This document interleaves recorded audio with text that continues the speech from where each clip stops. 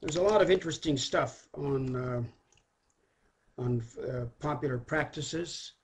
The uh, I think uh, you know the involvement of women in this might be a little surprising to some of you because they're really in the thick of it. And uh, it's to be noted that whereas in formal Islam or the seen face, uh, women are really not allowed or not permitted. They're not part of it so much. They don't go to the mosque uh, oftentimes because they're not really, uh, not that they're forbidden to go, but they're not really, uh, it's not really necessary for them to bear. They don't feel part of it. But in uh, the seen face of Islam, they're not there. But in this stuff, popular Islam, women have come and have come.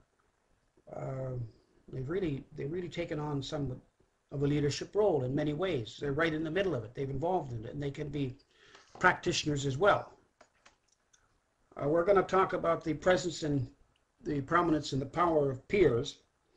We're going to talk uh, something about the different kinds of amulets as well, uh, and and how they are used and what they are. So, the uh, the important thing is that there are felt needs in among Muslims and so um, uh, you have to to live with the spirits. Some are good, some are bad. These jinn uh, are not all bad, but you have to live with them and you have to protect yourself.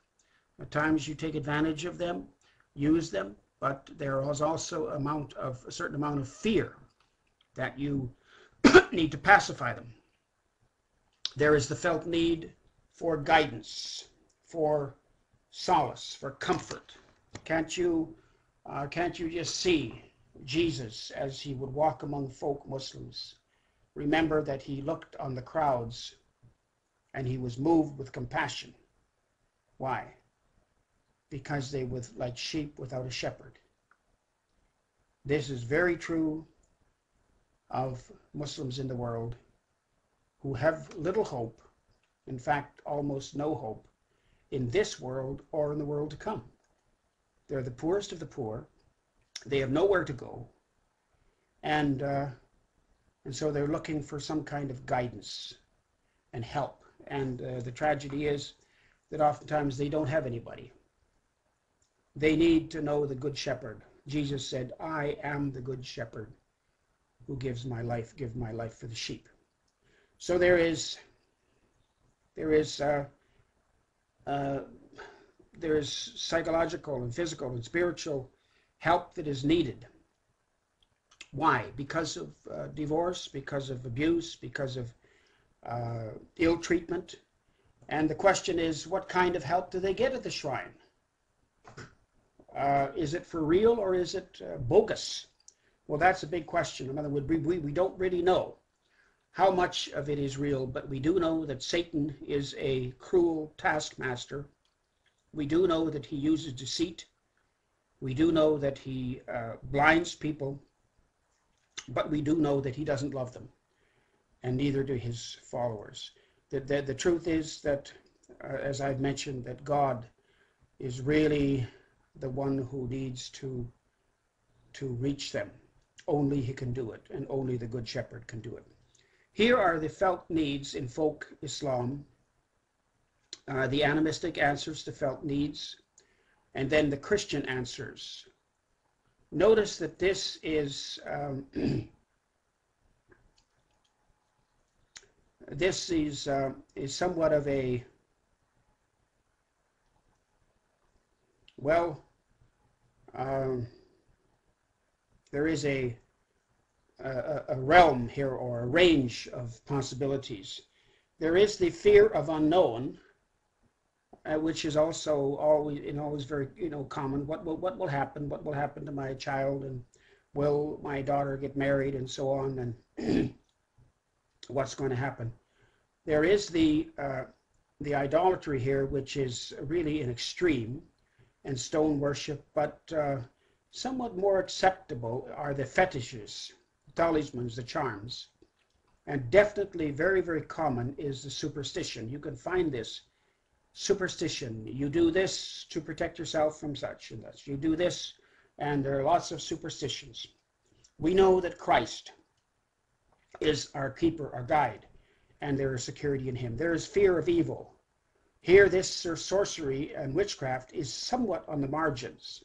More acceptable and common are the amulets, and the knots. When people go, Muslims go to the shrine, they will make a request, or two, or three, or four, and they will tie a knot for each one. They'll leave a bit of their garment there, a bit of their cloth there, and uh, knots represent a request.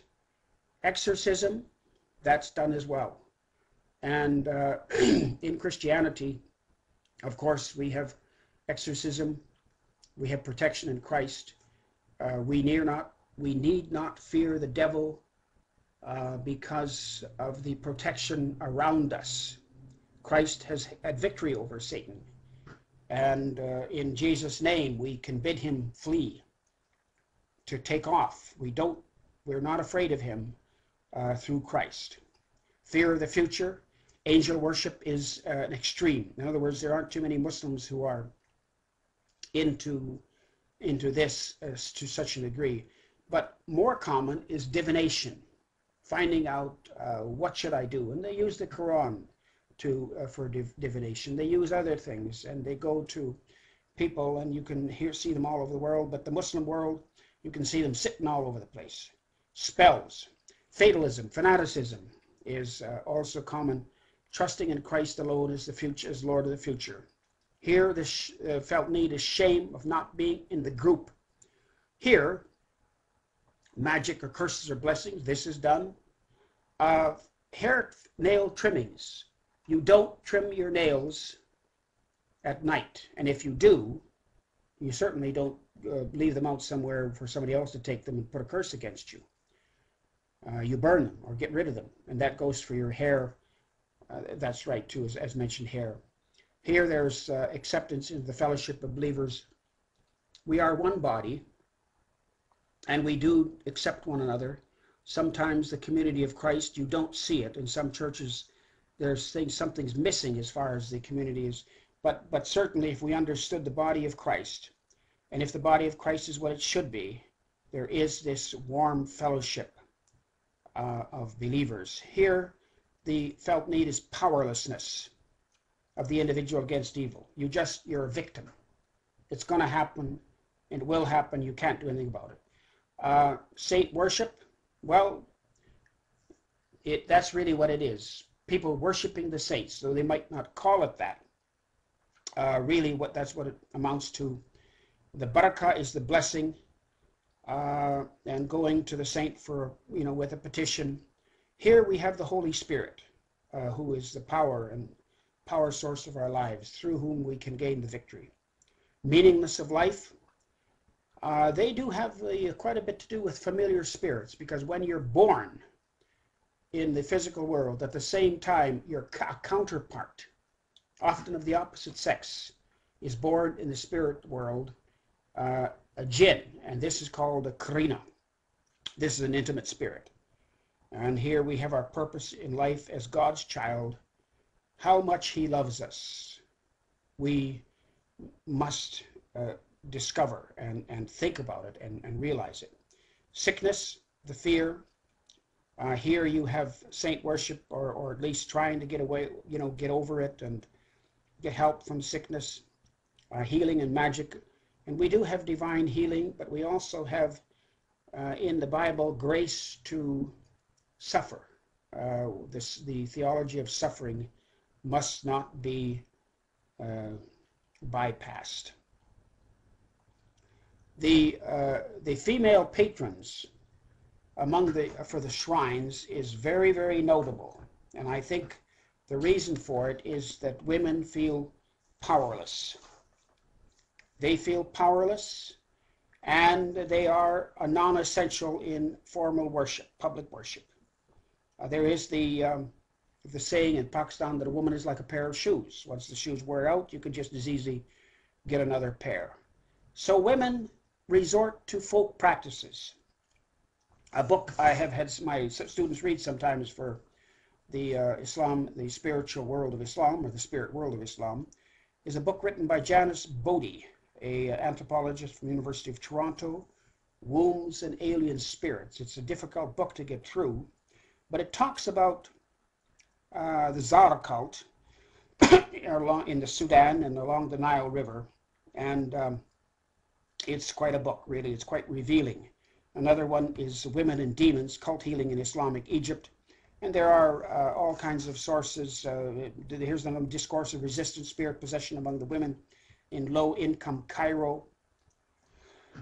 the uh, Zar visit or a possession cult is, uh, is a, a cult that seeks to manipulate a spirit uh, among women in Egypt, in the Sudan, and they get together and have their their parties uh, where there is a possession, uh, and they uh, minister somehow. The woman has a need, and she is uh, is appeals to the spirit, Zara, uh, and whether it's for um, fertility or something like that, something like that. But but there is this this this cult and and once women get into it they can't get out of it. They have to keep going back and back and back and back. The ceremony is there. Uh, there is a sacrifice. There is music. And interestingly enough though it is for women there are men playing the music. Uh, women get into a trance. There is a frenzied dance. Sometimes uh, spinsters who are old and stiff and decrepit can dance like crazy. There's exhaustion. There is some kind of a therapy. In other words women come here and they get a feeling of, well, a feeling of oneness, a feeling of, uh, of, of, minute being ministered to. Uh, yes, uh, we don't know all the troubles that women come for, but it might be uh, through a, a, cruel husband or uh, um, some kind of thing, but uh, it's quite a thing that we really can't get into. But you can go on the net and just look under ZAR, Z-A-R, and find all kinds of things, including pictures of the practitioners, the woman, women who who run them, and uh, it's uh, it's quite a thing. Now let's talk a little bit more about the female patrons. Women seem to be the best patrons.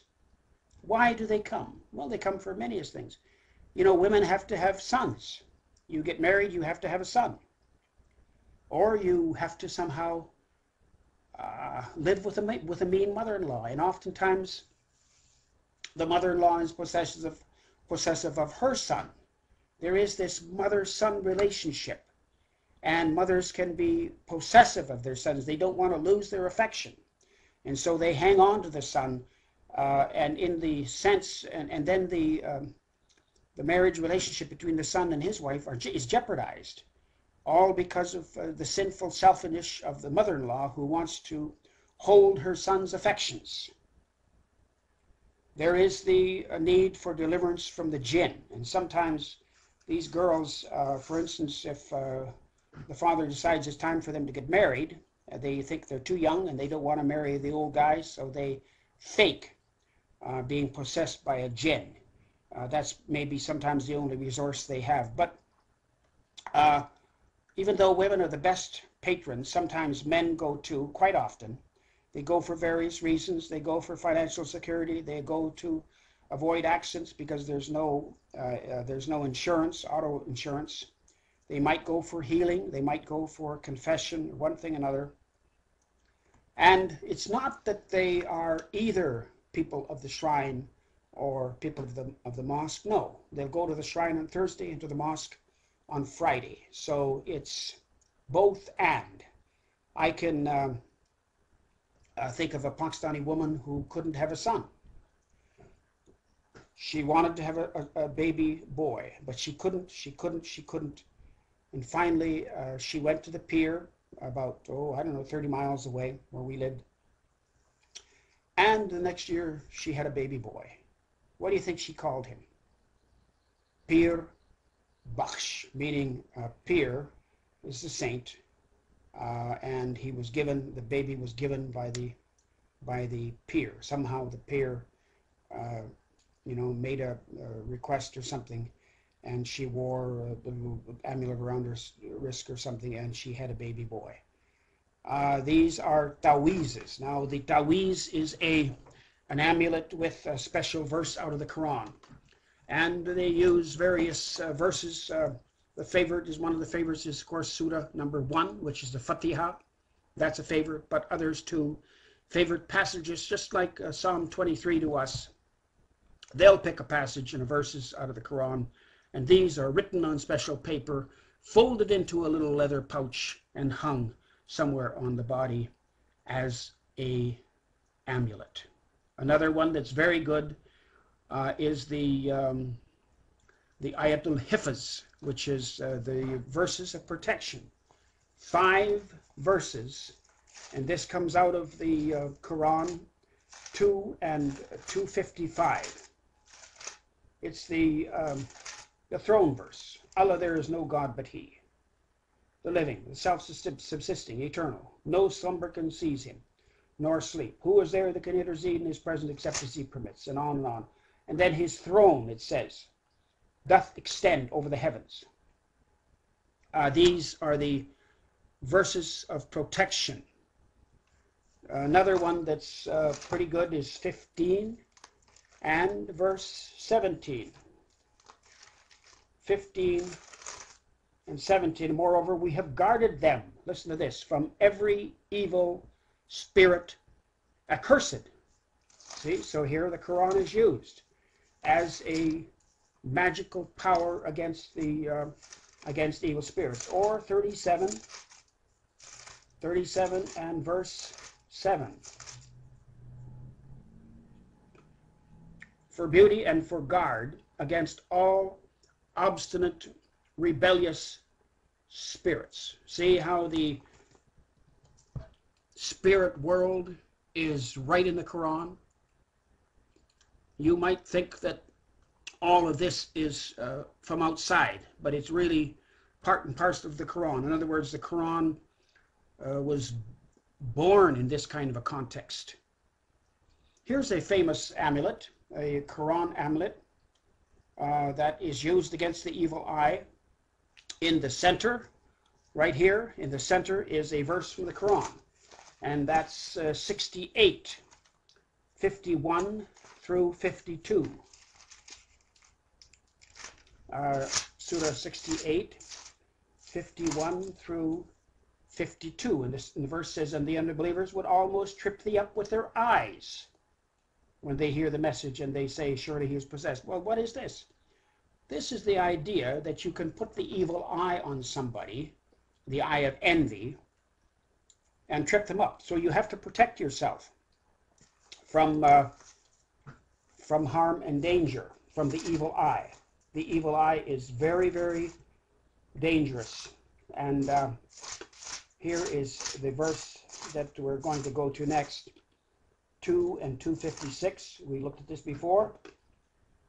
Um, I think really what they mean is 255, the throne verse, which is uh, 2 and 255. His throne doth extend over the heavens. That is in the margins uh, here along the, all the margins, the throne verse.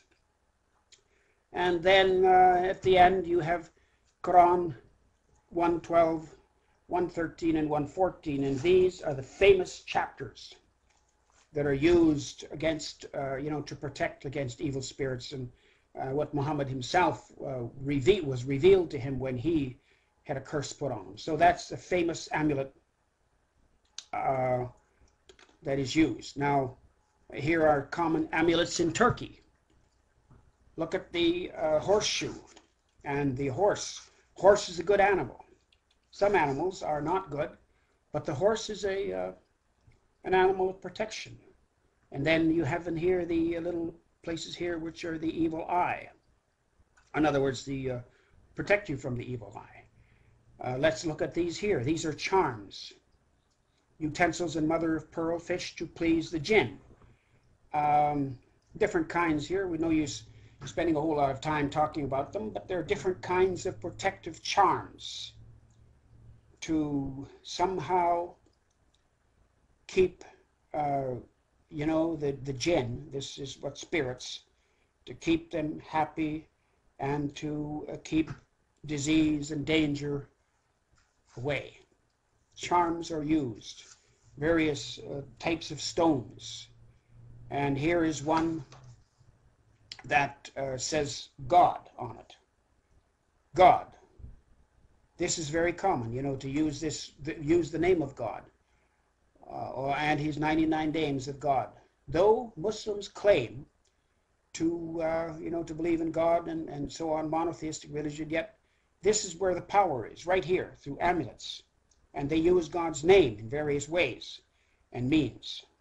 This one here is a, a Quranic amulet sold, picked up in Shanghai in mosques, used to defend against the jinn and other evils, to produce good health and fortune. See?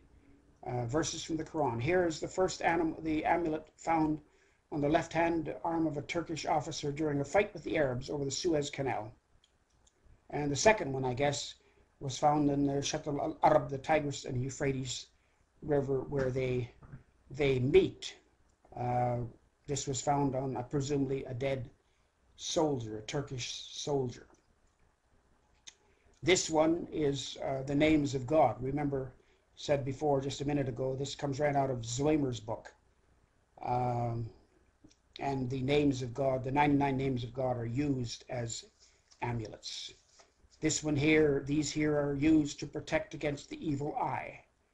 Uh, sometimes they will take the uh, the eye of a sheep uh, slaughtered in Mecca, or uh, and, and the Eid ul-Adha, the great feast, and they'll take that eye out of the sheep, and they'll make uh, an amulet out of it, and it's uh, it's a protection against the evil eye.